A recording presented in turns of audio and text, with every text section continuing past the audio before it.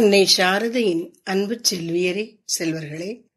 December பத்து கார்த்திகை இருபத்தி நான்கு நெறி.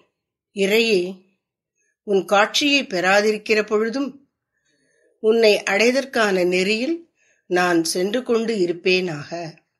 வீண்காலம் கழிக்காது சரியான பாதையில் போய்க் கொண்டிருப்பவர்கள் சேர வேண்டிய இடத்தை போய்ச் சேருவர். நாம் அனைவரும் பரம்பொருளினிடத்து யாத்திரை போய்க் கொண்டிருக்கிறோம் நெறி அல்லது வழி பிசகாது இருப்போமாகில் அவரை சென்று அடைவது திண்ணம். மின்னனைய பொய் உடலை மெய் என்று நம்பி ஐயோ நின்னை மறக்கை நெறியோ பராபரமே. தாயுமானவர் பொதுவா மனிதர்கள் வந்து வாழ்க்கையில ஏதாவது ஒரு லட்சியம் வச்சுட்டு இதை அடையணும் அப்படிங்கிற ஒரு ஆர்வத்தோட துடிப்போட இருப்பாங்க. ஆனா அதுக்கு உண்டான எல்லா காரியமும் செய்வாங்களா? அப்படின்னு சொல்ல முடியாது. அப்போ ஒரு லட்சியத்தை அடையணும்னு நினைக்கக்கூடியவர்கள் என்ன செய்யணும்?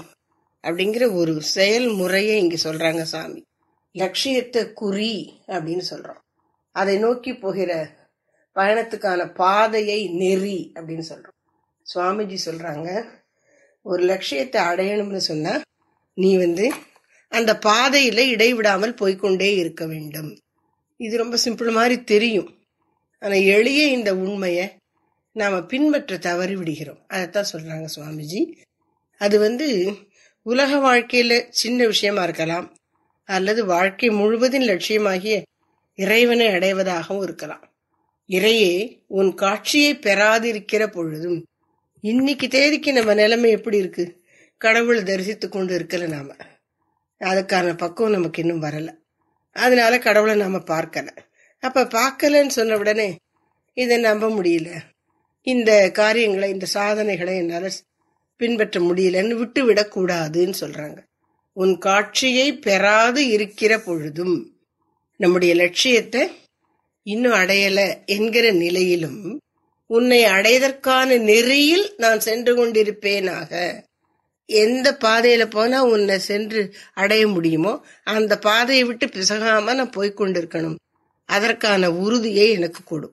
இதுல என்னெல்லாம் குறிப்பிடுறாங்க? என்னெல்லாம் மறைமுகமா உட்பொருளா இருக்கு? முதல்ல நம்முடைய குறி அல்லது லட்சியம் என்ன? அப்படிங்கறதுல நம்மளுக்கு ஒரு தெளிவு இருக்கு அப்படின்னு வச்சுப்போம். இறைவனை அடைதல். நாம் மானுடராக பிறந்திருப்பது இறைவனை வழுத்தி அவனை அடைதற் பொருட்டேயாம். அப்படின்னு குருதேவர் சொல்லியிருக்கிறார் இல்லையா? அப்படி நம்ம லட்சியம் நமக்கு தெளிவாக இருக்கு. அப்புறம் ஒரு லட்சியத்தை தீர்மானம் பண்ணின அப்புறம் அதை எப்படி போய் அடைவதுங்கிற வழியையும் நாம வந்து நமக்கு தெரியாட்டாலும் தெரிஞ்ச பெரியவங்கள்ட்ட மற்றவங்கள்ட்ட கேட்டு அதையும் உறுதிப்படுத்தி வச்சிருக்கணும். அதுக்கப்புறம் இவ்வளவு பண்ணிட்டு அடுத்து செய்யாமலா இருப்பாங்க அப்படின்னு நினைக்கிறோம். இல்ல மனசு எந்த ஒரு கட்டத்திலையும் சோம்பேறித்தனத்தினால லட்சியத்தை அடையாமல் இருந்துட முடியும். அதனால லட்சியத்தை தீர்மானித்து அதை அடைவதற்கான பாதை அல்லது நெறியையும் தீர்மானித்த பின் அந்த நெறியில் உறுதியாக செல்வேன் என்று செல்ல வேண்டும். அதை கடைபிடிக்க வேண்டும். இது ரொம்ப அவசியம். அத லட்சியத்தை தீர்மானிச்சிருவாங்க. போக வேண்டிய மார்க்கத்தையும் முடிவு பண்ணிடுவாங்க. ஆனா அதுல போக மாட்டாங்க. அப்படி பல பேர் இருக்காங்க. சமைச்சு வச்சுட்டு சாப்பிடாம இருக்க மாட்டோம். சாப்பிட்டுருவோம். பசிக்குது அப்படின்னு. ஆனா கடவுளை அடையணுங்கும் போது அதே தீவிரத்தை காட்டுவோமான்னு தெரியாது. காட்ட வேண்டும் அப்படின்னு இங்க சொல்றாங்க சுவாமிஜி. வீண்காலம் கழிக்காது. சரியான பாதையில் போய்கொண்டிருப்பவர்கள் சேர வேண்டிய இடத்தை போய் சேருவர். ஏன் அந்த நெறியில தேர்ந்தெடுத்த சரியான பாதையில போவதில்லை அப்படின்னா வேறு வேறு அதாவது லட்சியத்துக்கு முரணான வேறு பாதைகளுடைய கவர்ச்சியில இழுக்கப்பட்டு அந்த பக்கம் திரும்பி பார்த்துடுறோம். அதனால நேர போக வேண்டிய பாதையை விட்டுட்டு அந்த பக்கம் இந்த பக்கம் ஊரை சுத்தி போற பஸ் மாதிரி போயிட்டே இருக்கும். அப்புறம் அந்த மாதிரி ஒரு அனாவசிய கவர்ச்சியோ டைவர்ஷனும் இல்லாத போது கூட வீண் காலம் கழித்தல்ங்கிற ஒரு தமோ குணத்துக்கு உட்பட்டு காலத்தை சரியா பயன்படுத்தாம இந்த இறைவனை நோக்கி போகிற சாதனைங்கிற பயணத்தை மேற்கொள்ளாமல் இருக்கலாம். அப்படி செய்யாமல் வீண்காலம் கழிக்காது. அப்ப என்ன செய்யணும்? சரியான பாதையில் போய்கொண்டிருக்க வேண்டும். அப்படி போய்கொண்டிருப்பவர்கள் சேர வேண்டிய இடத்தை போய் சேருவர். முயலும் ஆமையும் கதை சொல்றோம்ல. அந்த ஆமை வந்து போய் சேர்ந்து விட்டது. முயல் இந்த ஆமை இன்னைக்கு போய்க்கும் நாம் அதுக்குள்ள ஒரு குட்டி தூக்கம் போட்டுட்டு அப்புறமா போவோம் அப்படின்னு தூங்கிச்சான். முழிச்ச போது பார்த்தா ஆமை இலக்கை எட்டி விட்டதான் அது மாதிரி நாம் வந்து முயலாமை தான் நம்மகிட்ட இருக்கு. முயற்சி போதாது. அப்படி ஒரு நிலை இருக்கக்கூடாது. அதனால வீண்காலம் போக்காமல் சரியான பாதையில் போய்கொண்டே இருக்க வேண்டும். நாம் அனைவரும் பரம்பொருளினிடத்து யாத்திரை போய்கொண்டிருக்கிறோம் இப்ப நம்முடைய பயணம் எதை நோக்கி? உலக வாழ்க்கையில என்னென்னவோ பயணங்கள் நிகழ்கின்றன. உண்மையில் நாம் என்ன பண்றோம்? இந்த வாழ்க்கைங்கிறது மூலம் இறைவனை நோக்கி பயணம் போய்கொண்டிருக்கிறோம் நெறி அல்லது வழி பிசகாது இருப்போமாகில் அவரை சென்று அடைவது திண்ணம். பல பேருக்கு நூத்துக்கு தொண்ணூத்தி ஒன்பது பேருக்கு இறைவனை நோக்கி தான் போறோம். இறைவன் தான் நம்ம லட்சியம். அப்படிங்கிறது கூட தெரியாம தானே இருக்கு. அப்படின்னா தெரிஞ்சாலும் தெரியாட்டாலும் எல்லாரும் அதை நோக்கி தான் போறாங்க. ஏன்னா அங்கேருந்து தான் கிளம்பி வந்தோம். அப்படி புறப்பட்ட இடத்துக்கே போய் சேருவதற்கு தான் முயற்சி பண்ணி கொண்டிருக்கிறோம் அப்ப நாம என்ன செய்யணும்? பாதையை விட்டு விலகாம இருந்தா போதும். பாதையை விட்டு விலகக்கூடாது.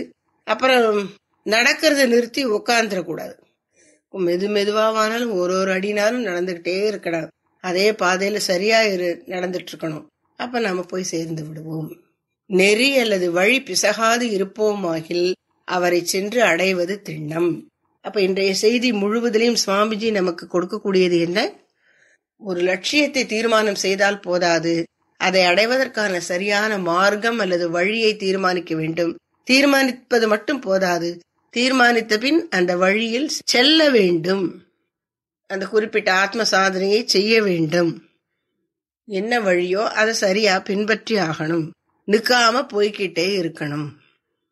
கிளம்பாம உட்காந்துடக்கூடாது கிளம்பிட்டு பாதி தூரத்துல உட்காந்துடக்கூடாது தொடர்ந்து போய்க்கொண்டே இருக்க வேண்டும். அப்ப நிச்சயம் லட்சியத்தை அடையலாம். அப்ப அந்த மார்க்கத்தை பின்பற்றுவதன் முக்கியத்துவத்தை கூறுகிறார் சுவாமிஜி. என்ன அவசியம் அப்படி? மின்னணைய பொய் உடலை மெய் என்று நம்பி ஐயோ நின்னை மறக்கை நெறியோ பராபரமே. உலக மக்களுடைய மனப்பான்மையை தாய்மானவர் எடுத்து காட்டுகிறார். மின் அணைய பொய் உடலை. நம்முடைய உடல் எப்படிப்பட்டது? பொய் உடல். அது என்ன அப்படி சொல்லிட்டீங்க? ரொம்ப உண்மையா தானே இருக்கு. தட்டினா தெரியுது ஓங்கி அடிச்சா வலிக்குது ஊசியால குத்தினா வலிக்குது பசிக்கு சோறு கொடுக்கலனா தெரியுது. அப்ப இந்த உடல் ரொம்ப உண்மையா இருக்கு. நீங்க இது பொய் உடல்னு சொல்றீங்களே. அப்படின்னா இதை ஏன் பொய் உடல்னு பெரியவங்கள்லாம் சொல்றாங்க? இது நிலையாக இருப்பதில்லை. ஒரு காலத்திலிருந்து இன்னொரு காலத்தில் இல்லாமல் போய் விடுகிறது அவரவர் பிறந்த தேதிக்கு முன்னால இந்த உடம்பு இல்ல ஒரு நாள் டேட் ஆஃப் டெத்னு ஒண்ணு வரப்போகுது. அதுக்கப்புறமும் இது இருக்க போறது இல்ல நடுவுல சில வருஷங்களுக்கு இது இருக்கு. அப்போ கொஞ்ச காலத்துக்கு இருந்து முன்னாலேயும் பின்னாலையும் இல்லாமல் போகிற உடல் இருந்த போதும் போய் உடலே. இதுதான் பெரியவர்களுடைய முடிவு. விவேக்கிகளுடைய முடிவு. இது பொய் உடல். ஏன்? இது நிலையில்லாத உடல். அதனுடைய நிலையில்லா தன்மையை காட்டுவதற்கு ஒரு அழகான பொருத்தமான உதாரணத்தை சொல்லுகிறார் தாய்மானவர். மின்னணைய பொய் உடல். மின்ங்கிறது மின்னல். மின்னல் நம்ம எல்லாம் பார்த்துருக்கோம் மழை காலத்துல ஒரு அறநொடி பொழுதுல வானத்துல இருந்து தர வரைக்கும் கிடு கிடு கிடுன்னு ஒரு கோடு மாதிரி அந்த ஒளி கோடு வந்து தொட்டுட்டு அப்படியே மறைஞ்சு விடுது நமக்கு என்னன்னு புரியறதுக்குள்ள அது வந்து மறைந்து விடுகிறது. அப்ப மின்னல் என்பது நிலையாமைக்கு ஒரு நல்ல எடுத்துக்காட்டு. இந்த உடம்பு எப்படி இருக்கு? இந்த மின்னலை போன்று கண ஒரு கணப்பொழுதுக்குள் தோன்றி மறைகின்ற மின்னலை போன்று நிலையில்லாது இருக்கின்றது. அப்படிப்பட்ட உடல் அப்படி நிலையில்லாமல் இருப்பதால் அது பொய் உடல். அதை மறந்து மெய் என்று நம்பி நான் என்ன பண்ணுகிறேன்? ஐயோ நின்னை மறக்கை உன்னை மறந்து விடுகிறேன். இறைவா இந்த உடலை உண்மையானது என்று நம்பி உண்மையான உன்னை மறந்து விடுகிறேன். அப்படி மறப்பது நெறியோ? அது சரியான வழி ஆகுமா வழி இல்லை சரியான வழி இல்லை உன்னை மறக்கக்கூடாது. உடலை நம்பி இறைவனை மறக்கக்கூடாது. இறைவனை நம்பி உடலை முறையாக பயன்படுத்த வேண்டும். அது என்னைக்கும் என்னை காப்பாத்திரும் நம்பிட்டு இருக்க கூடாது. ஆனா அதை நன்றாக பயன்படுத்த முடியும். அதை பாதுகாக்க வேண்டும் பயன்படுத்த வேண்டும். அதனால மின்னலை போன்று நிலையில்லாததாக இருக்கும் உடலை உண்மையானது நிலையானது என்று எண்ணி ஏமாறாமல் அதே சமயம் இறைவனை அடைவதற்கு இதுதான் பயன்படும் என்று தெரிந்து கொண்டு இந்த உடலை முறையாக பயன்படுத்தி அதிலே பற்று வைக்காது வாழ்க்கையை வாழ்ந்தால் லட்சியத்தை சென்று அடையலாம். ஜெய் ஸ்ரீ சாரதா கி ஜெய் ஜெய் ஸ்ரீ சத்குருநாத் மகராஜ் கி. ஜெய்.